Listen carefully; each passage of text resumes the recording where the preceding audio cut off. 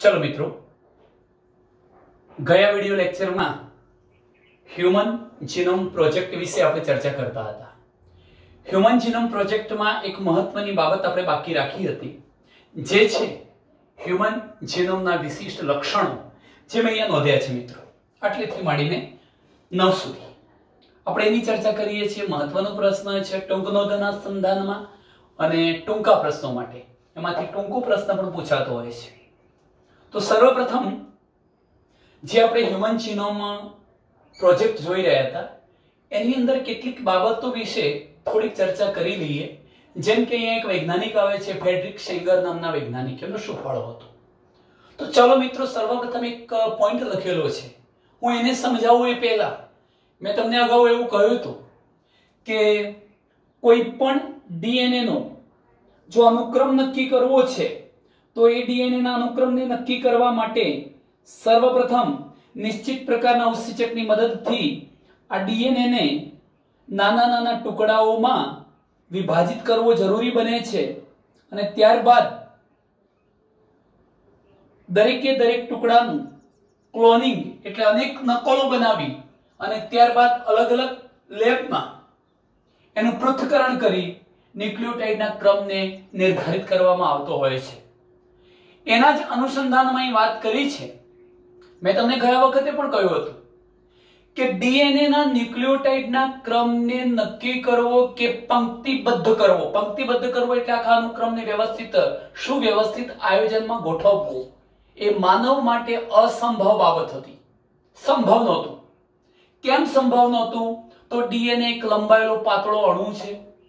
એના એકબીજા પર આચ્છાદિત થતા એકમો છે. ઘણી બધી અસંખ્ય ન્યુક્લિયોટાઇડ છે. એટલે એ અનુક્રમ માત્ર ને માત્ર મૌખિક લેવલ પર કે લેખિતમાં સંભવ નહોતો. આ અદ્ભુત કાર્ય કરવા માટે સમગ્ર ડીએનએ ના ન્યુક્લિયોટાઇડનું એનાલિસિસ કરવા માટે એક સુધારેલી આવૃત્તિ વાળા સંગણક સાધન કોમ્પ્યુટરની જરૂરિયાત ઊભી થઈ. તો આ જે કોમ્પ્યુટર પ્રોગ્રામ જે વિકસાવવામાં આવ્યો કે જેના કારણે ડીએનએ ના અનુક્રમને કોમ્પ્યુટર સુવ્યવસ્થિત ક્રમમાં ગોઠવી દે, આપમેળે સ્વયં સંચાલિત રીતે, એ કઈ બાબતના આધારે? તો ફ્રેડરિક શેંગરે વિકસાવેલી પદ્ધતિને આધારે. અહીં તમે જોઈ શકો છો કે ડીએનએ ના જે ખંડો છે ડીએનએ ના બધા ખંડો, એ સ્વયં સંચાલિત અનુક્રમકના ઉપયોગથી આ સ્વયં સંચાલિત અનુક્રમક શું છે? એ મિત્રો તમે જોઈ શકો છો કે કોમ્પ્યુટર આધારિત પ્રોગ્રામને વિકસાવવામાં આવ્યો હતો. પ્રોગ્રામ વિકસિત છે એવું કોમ્પ્યુટર કે જે ડીએનએ ના ખંડના અનુક્રમોને સ્વયં જાતે જ સંચાલિત કરી અને નક્કી કરી દે છે. તો ડીએનએ ના ખંડો સ્વયં સંચાલિત અનુક્રમકના ઉપયોગથી અનુક્રમિત નક્કી કરવામાં આવે છે. આ બાબત ફેડરિક સેંગર દ્વારા વિકસાવાયેલ સિદ્ધાંત પર કાર્ય કરે છે. આ સિદ્ધાંત કોણે વિકસાવ્યો હતો? અથવા જે પ્રોગ્રામિંગ કરવાનું હતું? વિકસિત કોમ્પ્યુટર કે જેની અંદર આપણે ન્યુક્લિયોટાઇડના ક્રમને આપમેળે કોમ્પ્યુટર નક્કી કરી શકતું હોય એવી જે ટેકનોલોજીનો વિકાસ કરવાનો હતો, એમાં સહભાગી કોણ હતો? Frederick Sanger. એક બાબત બીજી પણ યાદ રાખજો મિત્રો, કે કોઈ પણ જનીન અભિવ્યક્ત થઈને જ્યારે પ્રોટીન બનાવે છે તો એ પ્રોટીનની અંદર રહેલા એમિનો એસિડના ક્રમને નક્કી કરવાની પદ્ધતિ પણ કોણે વિકસાવી હતી? ફેડરિક સેંગરે. એટલે આ શ્રેય પણ કોના ફાળે જાય છે એમ કહી શકાય? Frederick Sanger. તો પ્રોટીનમાં એમિનો એસિડના અનુક્રમોને નક્કી કરનારી ક્રિયાના વિકાસનો શ્રેય પણ સેંગરને જ પ્રાપ્ત થાય છે એમ કહી શકાય. ડીએનએ ના અનુક્રમોને મનુષ્ય દ્વારા પંક્તિબદ્ધ કરવો, પંક્તિબદ્ધ કરવું સંભવ નથી. આ કારણે જ શું કરવાની જરૂરિયાત ઊભી થઈ? કોમ્પ્યુટર આધારિત પ્રોગ્રામને વિકસાવવામાં આવે છે, જેથી કરીને ડીએનએ ના અનુક્રમને પંક્તિબદ્ધ કરી શકાય, સુવ્યવસ્થિત ગોઠવી શકાય. ત્યારબાદ આ અનુક્રમોનું અર્થઘટન કરવા માટે પણ અર્થઘટન કરવા માટે પણ કોમ્પ્યુટરની મદદ લેવાશે. અને ત્યારબાદ શું કરવું? તો અર્થઘટન કર્યા પછી દરેક રંગસૂત્ર પર કયા સ્થાને કયું જનીન આવેલું છે? એ જનીનને રંગસૂત્ર પર ગોઠવવા માટે પણ કોનો સહારો લેવામાં આવ્યો? કોમ્પ્યુટરનો. તો ફરીથી કે જેમાં આધુનિક પ્રોગ્રામ એડ કરેલ છે, એવા કોમ્પ્યુટરની મદદ લેવાઈ ડીએનએના અનુક્રમને નક્કી કરવા માટે. ડીએનએ નો અનુક્રમ નક્કી થઈ ગયો. પછી એનું એનાલિસિસ અર્થઘટન કરવાની જરૂરિયાત ઊભી થઈ કે ભાઈ આ જનીન કયા પ્રકારનું પ્રોટીન બનાવે છે, કયા રંગસૂત્ર પર આવેલું છે, એનું સ્થાન શું છે, ભૌતિક સ્થાન શું છે. આ બધી જ બાબતોનું અર્થઘટન કરવા માટે પણ કોમ્પ્યુટરની મદદ લેવાય એટલું જ નહીં. એકવાર જનીનોના ક્રમ નક્કી થઈ ગયા, ત્યાર પછી રંગસૂત્ર પર એનું ભૌતિક સ્થાન દર્શાવવા માટે પણ કોમ્પ્યુટરની મદદ લેવામાં આવી. રંગસૂત્ર એકનો અનુક્રમ આ બાબત બરોબર ધ્યાનથી સમજજો મિત્રો. કે આપણામાં ત્રેવીસ જોડ રંગસૂત્રો હતા, બાવીસ જોડ દૈહિક ત્રેવીસમું પુરુષની અંદર એક એક્સ અને બીજું વાય. એટલે ચોવીસ થયા. સ્ત્રીની અંદર પણ બાવીસ જોડ દૈહિક અને ત્રેવીસમું એક્સ, ચોવીસમું પણ એક્સ. એટલે સ્ત્રી અને પુરુષમાં જો એકલ વ્યક્તિની અંદર ગણીએ તો કુલ રંગસૂત્રોની સંખ્યા કેટલી થાય? ચોવીસ થાય. એ પૈકી પ્રથમ પહેલા નંબરનું જે રંગસૂત્ર હતું, એનો ન્યુક્લિયોટાઇડનો ક્રમ બે હજાર સોળમાં પૂર્ણ થયો. તમને નવાઈ લાગશે મિત્રો. કે આ પ્રોજેક્ટ ઓગણીસો ને નેવું ની અંદર શરૂ થયો હતો. આશરે તેર વર્ષ ચાલ્યું. બે હજાર ને ત્રણમાં તો આ પ્રોજેક્ટ લગભગ પૂરો થઈ ચૂક્યો હતો. આમ છતાંય રંગસૂત્ર એક પર જે જનીન દ્રવ્ય આવેલું હતું, એના ન્યુક્લિયોટાઇડના ક્રમને નક્કી કરવા માટે બે હજાર સોળની સાલ આવી ગઈ. ટૂંકમાં આનો ક્રમ બે હજાર સોળમાં પૂર્ણ થયો. હવે કૌંસનું વાક્ય વિચારો કે જે મનુષ્યના ચોવીસ રંગસૂત્રોમાં, ચોવીસ એટલે બાવીસ દૈહિક હતા. બાવીસ દૈહિક અને ત્રેવીસમાં એક્સ ચોવીસમું આપણે ગણીએ તો વાય. તો આ ચોવીસ રંગસૂત્રોમાં અંતિમ અનુક્રમ નક્કી થયો. એવું કોણ હતું? રંગસૂત્ર નંબર એક. બીજા નંબરનું હતું કે બાવીસ દૈહિક રંગસૂત્ર. બાવીસમી જોડના દૈહિક રંગસૂત્રો અને ત્રેવીસમી જોડમાં એક્સ અને વાય રંગસૂત્રના અનુક્રમ હજુ બાકી હતા. ક્યારે બાકી હતા? બાકીના બધા જ રંગસૂત્રોના અનુક્રમ નક્કી થઈ ચૂક્યા હતા. મોટા ભાગનો હ્યુમન જીનોમ પ્રોજેક્ટ પૂરો થઈ ચૂક્યો હતો. પરંતુ પ્રથમ રંગસૂત્ર પરનો અનુક્રમ બે હજાર સોળ સુધીમાં પૂર્ણ થઈ ગયો. અને એ વખતે જ્યારે બે હજાર સોળમાં અનુક્રમ પૂર્ણ થયો, એ વખતે બાવીસમી જોડ દૈહિક અને એક એક્સ અને વાય રંગસૂત્રોનો અનુક્રમ જાણવો હજુ બાકી હતો. એ કામ એના પછી થયું છે મિત્રો. ચલો, આટલે સુધીની વાત કરી. હ્યુમન જીનોમ પ્રોજેક્ટ માટે એક બીજું પડકારરૂપ કાર્ય એ હતું કે જનીન સંકુલનો આનુવંશિક અને ભૌતિક નકશો તૈયાર કરવો. મિત્રો, તમને પ્રશ્ન થશે કે આનુવંશિક અને ભૌતિક નકશો તૈયાર કરવો એનો મતલબ શું? તો આ બાબત આપણે આ રીતે સમજી શકીએ કે ધારો કે હું અહીંયા એક રંગસૂત્ર બતાવું છું તો આ ધારો કે પ્રથમ નંબરનું રંગસૂત્ર છે, કાં તો ત્રીજા નંબરનું રંગસૂત્ર છે, તો એના પર કયા સ્થાને કયું જનીન આવેલું છે, એનું સ્થાન આપણે નિરૂપિત કરીએ, તો એને આપણે સામાન્ય રીતે ભૌતિક નકશા તરીકે ઓળખાવીએ છીએ. સાથે સાથે, મનુષ્યની અંદર કેટલાક રોગો તમે જાણો છો મિત્રો? ડાયાબિટીસ વગેરે જેવા જે રોગો છે મલ્ટીપલ છે, આવા પાર્કિન્સન્સ છે, આવા જે રોગો છે, એ રોગો વારસાગત રોગો છે સિકલ સેલ એનિમિયા છે આ પ્રકારના જે વારસાગત રોગો છે, એક પેઢીમાંથી બીજી પેઢીમાં, બીજીમાંથી ત્રીજીમાં કેવી રીતે ઉતરી આવે છે?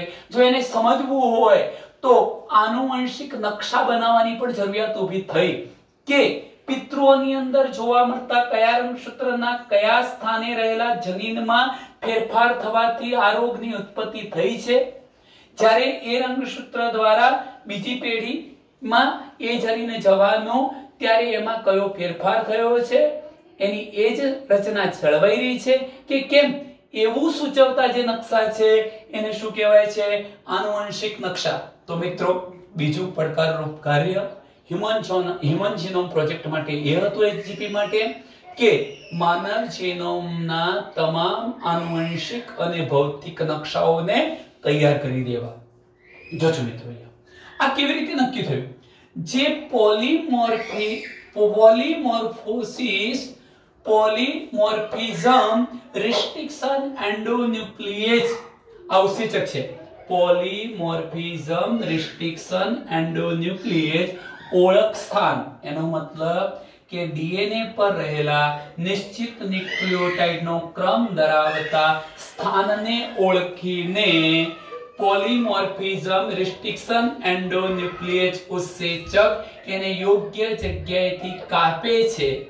આ બાબતને આધારે જોજો. અને કેટલાક પુનરાવર્તિત થતા ડીએનએ અનુક્રમો જેને આપણે માઇક્રો સેટેલાઇટ તરીકે ઓળખીએ છીએ, આ ઉપલબ્ધ માહિતીના ઉપયોગથી શું નક્કી કરી શકાયો? આનુવંશિક નકશા અને ભૌતિક નકશા તૈયાર કરાયા. ફરી વાક્ય રચના સમજાવું છું મિત્રો. કે રંગસૂત્ર પર આપણે જનીનોનું સ્થાન નક્કી કરવું હતું. તમે જાણો છો કે કોઈ પણ જનીનમાં મોટા ભાગનો જે વિસ્તાર છે, એ વારંવાર વારંવાર પુનરાવર્તિત થતા ન્યુક્લિયોટાઇડના ક્રમથી બનેલો હોય છે. અને જેને આપણે આર કહીશું, વેરિયેબલ નંબર ટેન્ડમ રિપીટ્સ. જેની ચર્ચા આપણે ફિંગરપ્રિન્ટમાં કરીશું, મિત્રો, ડીએનએ ફિંગરપ્રિન્ટમાં. તો વારંવાર પુનરાવર્તિત થતો એક થી છ ન્યુક્લિયોટાઇડનો વારંવાર પુનરાવર્તિત થતો જે ક્રમ છે, એને આપણે શું કહ્યું? માઇક્રો એવું નામ આપ્યું.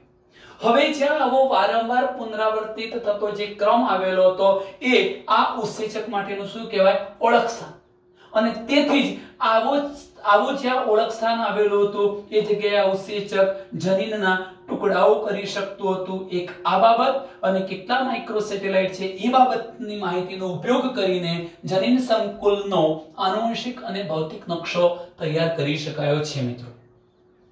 ચલો હવે બિલકુલ સરળ બાબત શરૂ થાય છે, મિત્રો. અહીંયા જુઓ, ધ્યાન રાખો. હ્યુમન જીનોમના વિશિષ્ટ લક્ષણો વિશે વાત કરવી છે. આ એચજીપી પ્રોજેક્ટ જે પૂરો થયો એ પ્રોજેક્ટ પૂરો થયા પછી એમાંથી કેટલાક જાણવા લાયક તથ્યો બહાર આવ્યા. જેને આપણે કહીએ છીએ હ્યુમન જીનોમના વિશિષ્ટ લક્ષણો. આ પ્રશ્નમાંથી ટૂંકો પ્રશ્ન પણ પૂછી શકાય. માટે વ્યવસ્થિત ધ્યાન રાખજો. હ્યુમન જીનોમ એકત્રીસો ચોસઠ પોઈન્ટ સાત મિલિયન બેજ છોડ ધરાવે છે.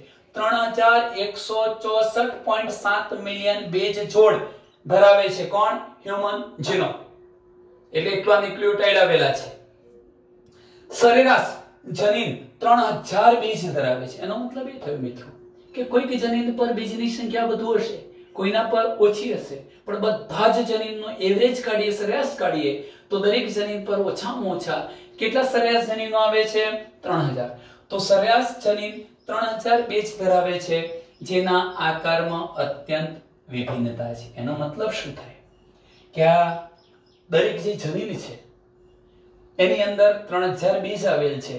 તો દરેક દરેક બીજનો આકાર સ્વાભાવિક છે મિત્રો, સરખો ન હોઈ શકે. કારણ કે એની અંદર અનેક પ્રકારના, ચાર પ્રકારના ન્યુક્લિયોટાઇડ હોય એનો આકાર એકબીજાથી થોડો કેવો પડતો હોય, ભિન્ન પડી શકતો હોય. મનુષ્યનું જ્ઞાત એટલે મનુષ્યમાં જાણીતું સૌથી મોટું જનીન. સૌથી મોટો જનીન એને ન્યુક્લિયોટાઇડની સંખ્યાના આધારે. જેમાં ન્યુક્લિયોટાઇડ વધુ આવેલ છે એવું સૌથી મોટો જનીન, જેનું નામ છે ડિસ્ટ્રોફિન. આ ટૂંકો પ્રશ્ન યાદ રાખજો. મનુષ્યમાં જ્ઞાત જનીન કે જે સૌથી મોટું છે ન્યુક્લિયોટાઇડની સંખ્યાના આધારે એને ડિસ્ટ્રોફિન નામ આપવામાં આવેલું છે અને એની અંદર આશરે 2.4 મિલિયન બેઝ મળ્યા છે. કેટલા? 2.4 મિલિયન બેઝ. આમ તો દરેક જનીન પર એવરેજ 3000 હોવા જોઈએ. પણ આ જનીન સૌથી મોટું હતું ડિસ્ટોફિન જનીન, અને જેમાં 2.4 મિલિયન બીજ જોવા મળ્યા છે. જનીનની સંખ્યા હ્યુમન જીનોમમાં 24 રંગસૂત્રો પર રહેલા જનીનોની સંખ્યા કેટલી માલુમ પડી છે? ત્રીસ હજાર. ક્યારે માલુમ પડી? હ્યુમન જીનોમ પ્રોજેક્ટ પૂરો થયા પછી ખબર પડી કે ટોટલ કેટલા જનીનો છે? ત્રીસ હજાર જનીનો. પહેલા ધારણા એવી હતી, પૂર્વ અંદાજિત ધારણા એવી હતી કે આશરે હ્યુમન જીનોમની અંદર 80000 થી લઈને 140000 જનીનો હોવા જોઈએ. પણ એના કરતા વાસ્તવમાં આ સંખ્યા ઘણી ઓછી છે. માટે જુઓ, જનીનની સંખ્યા 30000 છે, જે પૂર્વ અંદાજિત 80000 થી માંડીને 140000 કરતા ઘણી ઓછી છે. લગભગ બધા જો આ બાબત પણ સમજવા જેવી છે, નવ્વાણું પોઈન્ટ જીરો નવ ટકા ન્યુક્લિયોટાઇડ બેઝ બધા જ મનુષ્યમાં એક સરખા છે. તમે પચીસ વ્યક્તિઓ એકત્રિત કરો અને આ પચીસે પચીસ વ્યક્તિઓના હ્યુમન જીનોમનો અભ્યાસ કરો, એના જનીન સંકુલનો અભ્યાસ કરો, તો એમાં તમને નવ્વાણું પોઈન્ટ જીરો નવ ટકા ન્યુક્લિયોટાઇડનો ક્રમ સરખો પ્રાપ્ત થાય છે મિત્રો. ફક્ત પોઈન્ટ વન ટકા જેટલો જ ન્યુક્લિયોટાઇડમાં તફાવત છે અને એના કારણે જ બધી વ્યક્તિઓ એકબીજાથી થોડીક થોડીક કેવી હોય છે? જુદી હોય છે. શોધાયેલા જનીનો પૈકી પચાસ ટકા જનીનોના કાર્યો અજાણ છે. એટલે જે ત્રીસ હજાર જનીનો શોધાયા, એમાંથી પચાસ ટકા જનીનોના કાર્યો શું છે? એના વિશે વૈજ્ઞાનિકોને પણ ખ્યાલ નથી. એના કાર્યો વિશે તેઓ અજાણ છે. બે ટકા કરતા પણ ઓછા જીનોમ પ્રોટીન માટે સંકેતન કરે છે. નવાઈ જેવી બાબત છે, મિત્રો. કે આપણે સો ટકાવારી ગણીએ, સો ટકા જનીનો હતા, એમાંથી ફક્ત ને ફક્ત બે ટકા જનીનો જ પ્રોટીન માટે સંકેતન કરે છે, એટલે પ્રોટીન બનાવે છે. જે ખરેખર ટ્રાન્સલેશન ટ્રાન્સક્રિપ્શન, ટ્રાન્સલેશન જેવી ક્રિયાઓમાં ભાગ લેતા હશે. બાકીના ભાગ લેતા નથી. અહીં ધ્યાન રાખજો. હ્યુમન જીનોમનો મોટો ભાગ પુનરાવર્તિત ક્રમોથી બનેલો છે. મિત્રો, મેં તમને કહ્યું હતું V N T R variable number tandem repeat વારંવાર પુનરાવર્તિત થતો ટૂંકો ન્યુક્લિયોટાઇડનો ક્રમ એનો બનેલો હોય છે. પુનરાવર્તિત ક્રમો એ ડીએનએ ના ફેલાયેલા ભાગો જ છે, જેની ક્યારેક ક્યારેક સો શતકોથી હજાર વખત પુનરાવર્તિત એકમો જોવા મળે. એનો મતલબ શું? કે ધારો કે હું એક ડીએનએ લઉં છું, એક જનીન લઉં છું, અને એ જીએન જનીનનો મારે ન્યુક્લિયોટાઇડનો ક્રમ નક્કી કરવો છે. તો મને થોડા થોડા સ્થાને વારંવાર વારંવાર પુનરાવર્તિત થતો ન્યુક્લિયોટાઇડનો ક્રમ જોવા મળવાનો વીએનટીઆર.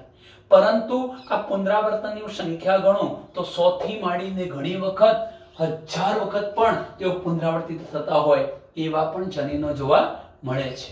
જેના વિશે એવું માનવામાં આવે છે કે તે, એટલે વારંવાર પુનરાવર્તિત થતું જે બીએનટીઆર હતો, એ સીધા જ સાંકેતિક કાર્યોમાં એટલે પ્રોટીન બનાવવામાં કોઈ જ સંબંધ એમનો નથી. પરંતુ તે હોવાના કારણે જ રંગસૂત્રની સંરચના જળવાય છે.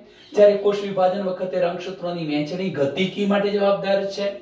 રંગસૂત્રોનો વિકાસ કરવો છે. આ બધી જ જાણકારી જો પ્રાપ્ત કરવી હોય, તો એના માટે આ પુનરાવર્તિત ક્રમો પણ અગત્યના છે.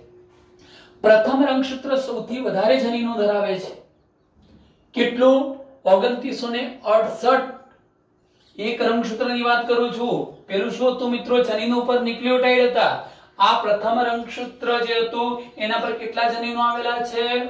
ઓગણત્રીસો ને અડસઠ જનીનો આવેલા છે.